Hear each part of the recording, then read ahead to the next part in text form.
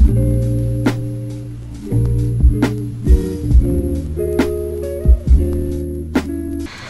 guys, welcome back or to my channel. So today's video I have a super super exciting video that I'm so excited to talk about and just address. So if you've seen the title you know that today I'm going to be introducing you to my two new pets.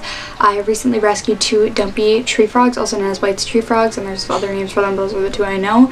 So um, yeah, I'm going to be talking all about their story. You guys are going to get some cute clips of them eating as well as just cute photos because they're just little slimy alien boys. They're so cute. Decided let's destroy my skin and uh, add some frogs on my eyelids for today's video because I ordered a frog mom sweater and I'm so excited for it or it's a frog sweater to show that I'm a frog mom and um, everything's being delayed so I did this instead just to show how much I love them um, since I don't have sweater. Uh, let's just talk about their story. I'm gonna take each of them out for a little bit to introduce you to them but they won't be out the whole video because you're not supposed to hold dumpy tree frogs for very long or very often. This is the first boy. This, they are both males. This is Homer. He is the loud one. He loves croaking. He is your classic dumpy personality. He is bursting with personality. He jumps everywhere. He is constantly croaking at literally nothing. Like my dog will bark and he'll croak.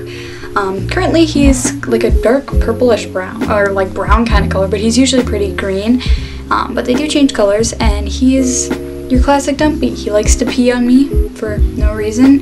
He's just an awesome boy. So um, that is Homer. I have water and some dirt on my hands so that um, he doesn't contain the oils and I just completely wash my hands free of soap, everything like that. So um, but yeah, that's Homer's.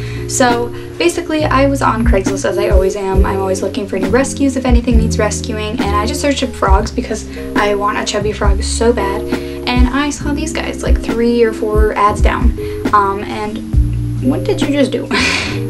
and I saw them so I just clicked on it because the first picture was actually of him. Now that I've tried to mist my hand so he wasn't absorbing anything and he decided let's get slime all over Emma's mirror, we're back. He's a thicker one of the two. He was definitely better fed or just he just seems more like, I mean, neither are very territorial. They get along very well.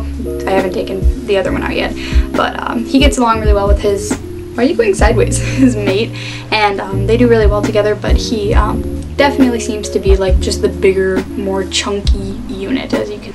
And I wasn't expecting to find much because I searched frogs like two weeks before that. And I found these guys, like three ads down, and I just clicked on it because it was the first photo I think was him, and just a picture of him. So I was like, oh, let's see the other photos. So they were in a 12 by 12 by 18 Exo which I mean, I'd recommend a little bit bigger just because, especially at night, they're very active.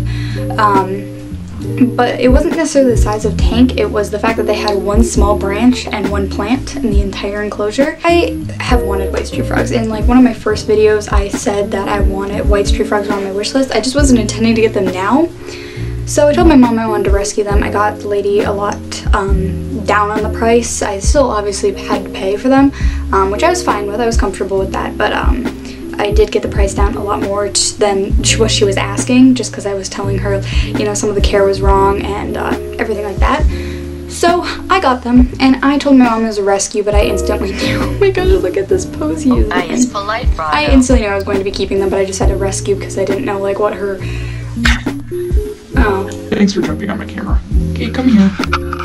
You're very pressure. Please don't be on my camera. Uh, but then I, um, got them and I instantly fell in love and my mom didn't see them. She was like asking for pictures but I was in such a rush to go get them.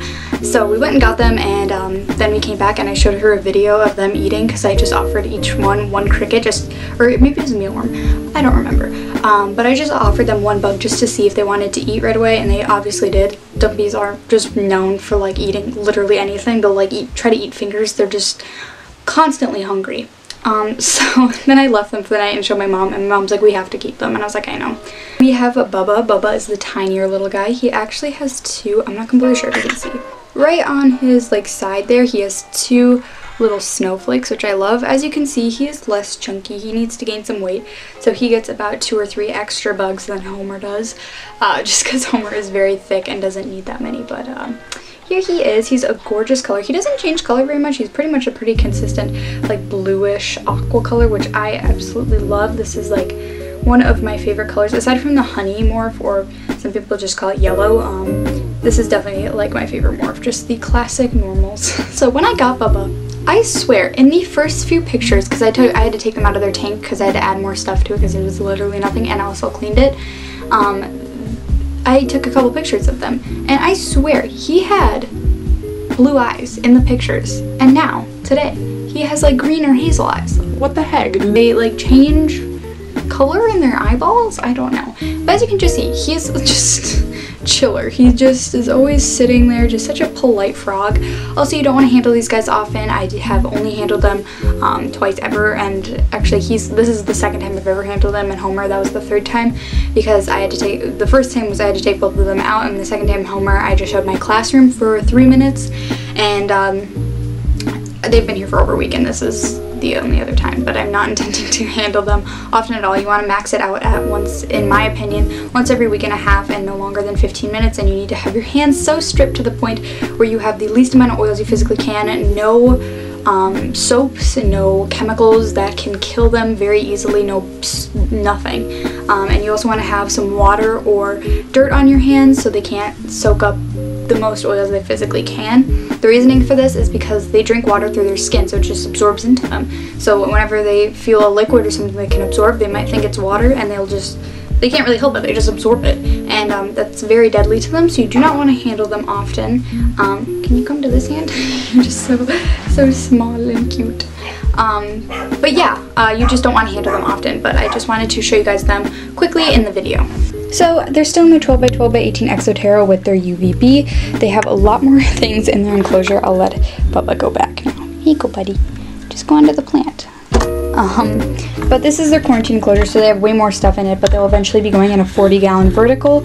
So I'm so excited for that. I'm going to actually start, uh, start it, um, start working on it tomorrow, which will actually be a future video, so sneak peek of that.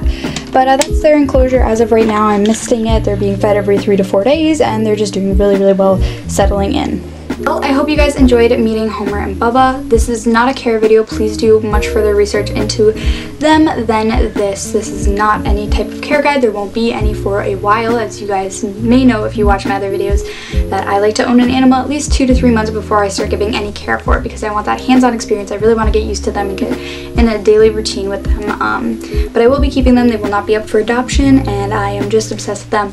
They are either the smallest or one of the smallest rescue well they're one of the smallest rescues that really need to be changed aside from their enclosure being changed they didn't need much um, change they didn't get much supplements they got like a vitamin powder but they never got calcium but they don't have MBD or anything like that um, but they're doing really well they've settled in really well they've been eating um, they've had two meals now and they're just doing really well. So um, they'll be in quarantine for the another couple weeks, but I'm going to start working on their vertical 40 gallon enclosure they will permanently be in. And yeah, I'm literally so obsessed with these guys. You guys have no idea. But um, thank you so much for watching. If you have any further questions on these boys, please let me know down below. Otherwise, you can ask me on my Instagram and you can go there and see more photos of them and cute content, which is Emmy's Pets. And I will see you guys next time. I love you so much. Stay awesome. Bye, guys.